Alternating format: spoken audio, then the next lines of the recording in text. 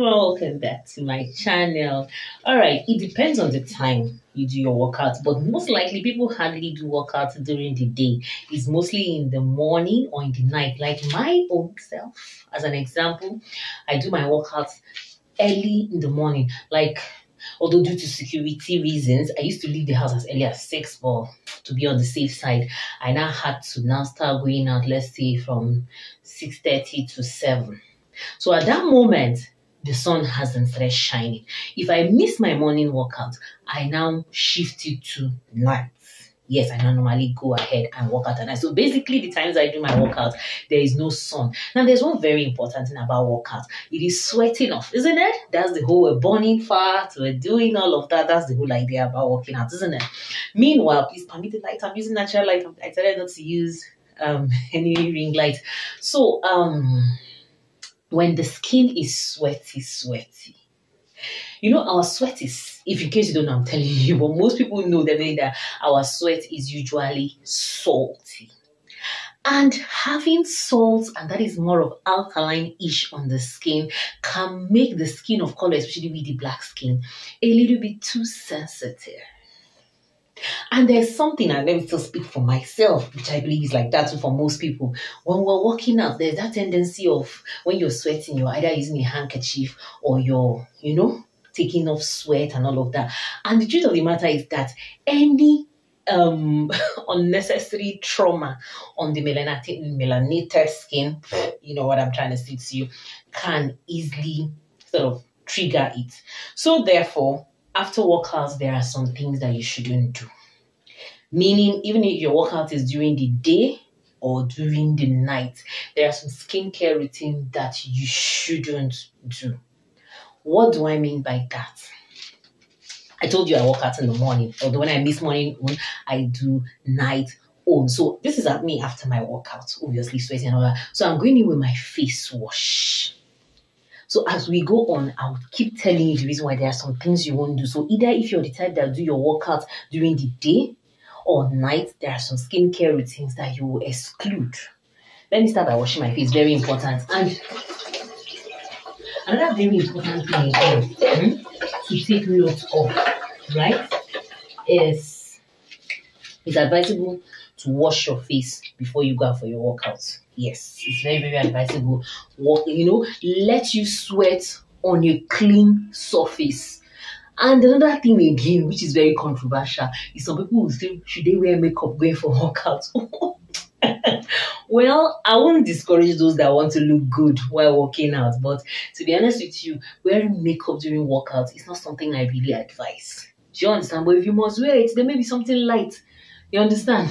but me, I can't even do that honestly speaking, because I sweat a whole lot, honestly speaking, although it still depends on the kind of workouts you do, though, you understand. So, very important, use a face wash that does not have any exfoliants. What did I tell you? After workout, the, the fact that we sweat and um, there's maybe contact of the skin, because afterwards, like I said, you might use hanky or towel or anything, there's that. So the skin tends to be very sensitive. So using any exfoliating product is a no, no. Yes, using any exfoliating product, I repeat myself, is a no-no, irrespective of the type time you did the workout, whether during the day or at night. Is a no-no. So now I'm just washing. So this face wash I use is from my product line. Is infused with clove right? And clove has this um, a beneficial ingredient in it, eugenol, which happens to be an anti-inflammatory, antibacterial. Should I keep going? Just know you're dealing with a beneficial ingredient. Mm. All right, so I'm washing my face. That would complain if I'm not some people. Almost everyone that goes through workout, sweaty, and all of that will notice that after shower, the skin is usually drier than normal after workouts. Um, some of you might want to know the reason. After workouts, your skin becomes dehydrated because you had lost um, good amount of hydration as a result of workout. So the skincare routine that will follow, either a AM or PM, should include a lot of hydration.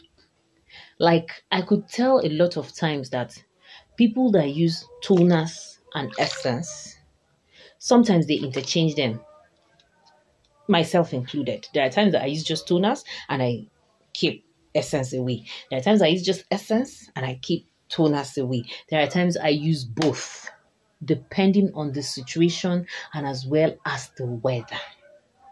But after workouts, the fact that your skin will become dehydrated is even worse when you take hot baths, and is even worse if there's any English like that if you have a dry skin. So, whatever type of skin you have, replacing hydration after workout is super duper important. So, I'm starting with my toner. Yeah, I love to use my hand. If you're the type that want to use your cotton pad, it's still fine. But personally, I kind of like to use my hand. And this toner, if you're an oldie on this channel, you realize that this toner has good amount of hydration. There are no fragrance. There is also no denatured alcohol. Just good amount of water, rose water, panthenol, vegetable glycerin, sodium lactate, hydration, humectant. Yeah, very important. So this is it. So I'll just use my hand fan to facilitate a little bit. Mm. So moving on to my hydrating essence. And one very important thing to take note of, make sure your hydrating products do not have any exfoliating property.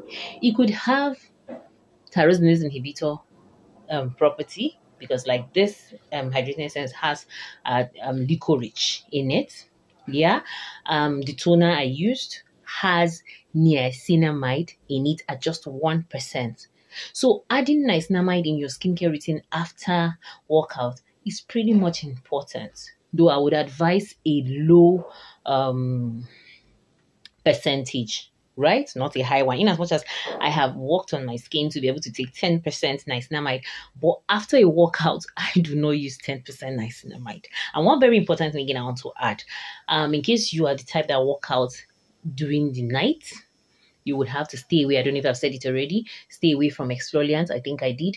And then even retinol. So on nights where I work out, I do not use retinol. I do not use any acids, either lactic acid or even azelaic acid. I do not. I just keep it basic, especially hydration. Hydration is key. And guess what? I did my workout during the day. It's a morning and, and the sun is already rising and all of that. But guess what? I am not going to use my antioxidant vitamin C. I'm not going to do that because don't forget, in as much as vitamin C is an antioxidant, it also has exfoliating ability. And vitamin C, you know, is a collagen stimulant, so it can make the skin uncomfortable. Basically, the fact that the sweat has stayed on your skin, automatically it has sort of I won't say temper, but it has sort of like, will I say, distorted the skin barrier. So you have to pamper the skin barrier. You have lost substantial, um, um, substantial amount of hydration. You have to try and replace it okay so that doing workout does not become problem because people that do workout um the ones people that have melasma they, they claim that their melasma increases which is yes even acne rosacea increase. I remember the first time I started my workout. Oh my god, my acne rosacea flared up. I almost wanted to stop. But being a skincare enthusiast, I had to work on it. So I'm going in with my hydrating essence. Very important, like I said hydration is key. I don't think I'll be stepping out of the house, so I might not use um, SPF after this. But if I'm stepping out of the house, I'm going to use my mineral SPF. Yes, if you're an oldie here, you will realize that I have never used any chemical SPF. yeah. So just adding another layer hydration at this time, at this point, is very important. It's your best friend. Very, very important. Too. Very important. It's your bestest of friend. Yeah. So take note. Either you work out during the day or during the time. Avoid exfoliants. Yeah, exactly. Very important. Hydration is very key. What else? What else? So I don't know if you're the type that work out every day. Huh? then you have to exfoliate. Maybe okay, let's say if you work out in the morning, then you might want to use your antioxidant vitamin C at night. Yes, very important. Yeah. So if you are the type that work out during the night alone, then I don't know if you're a skincare enthusiast. So probably you have to look for a way to maybe skip that one night of workout or convert it to daytime so that you'll be able to exfoliate. So what am I trying to say to you? If you do your workout strictly at night, then you would have problem of exfoliating, either physical or chemical exfoliation right?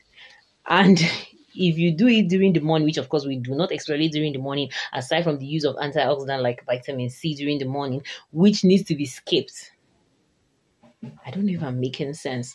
Just drop it in the comment section if you don't understand what I'm saying. I can still further explain, or if it has, if I have to do a follow-up video, I don't mind. So at this point, I'm almost done with my skincare. Like I said, I'm not going out. I'm just going to just rest. I've not even eaten breakfast yet, so I'm going to just chill.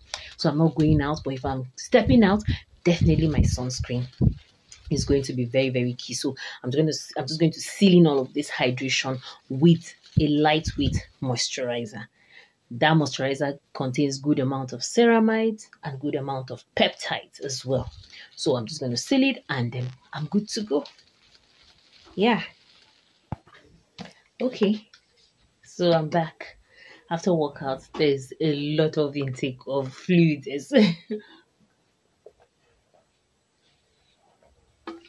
Especially water, which is very good. Very, very good. Replacement so I'm going in with my face and body um, lotion here. Yeah.